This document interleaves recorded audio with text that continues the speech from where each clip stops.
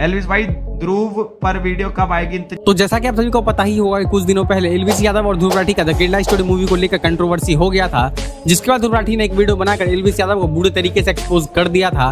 और इसी चीज़ का जवाब देते हुए एलविस यादव ने अपने ब्लॉग में बताया था कि वो बहुत जल्द ध्रुव राठी का रिप्लाई देने वाले हैं लेकिन अभी तक वो वीडियो नहीं आया है। और इसी चीज़ को लेकर जब वो लाइव स्ट्रीम कर रहे थे तो उनके एक फ़ैन ने ये सवाल किया कि वो कब तक ध्रुव राठी को रिप्लाई देंगे। और इसी चीज़ का जवाब देते हुए उन्होंने कुछ ये बोला है। और आज आज मैं तुम लोगों के सामने बहुत टाइम बाद आया हूँ। मैं बीच में थोड़ा सा बिज़ी था। मैं अभी बॉम्बे भी गया था। अपनी एक मूवी आ रही है भाई आज की 420 एलविस भाई ध्रुव पर वीडियो कब आएगी? इंतज़ार है मैं अरे भैया मुझे फ्री हो जान दे।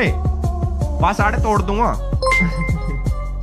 बैंगलोर कब आ रहे हो? तो भाई लोग क्या आप एलविस यादव को उस रिप्लाई वीडियो का वेट कर रहे हैं? हाँ या ना? नीचे कमेंट करके ज़रूर बताना। साथ ही ऐसी और वीडियोस के लिए चैनल को सब्सक्राइब भी कर देना।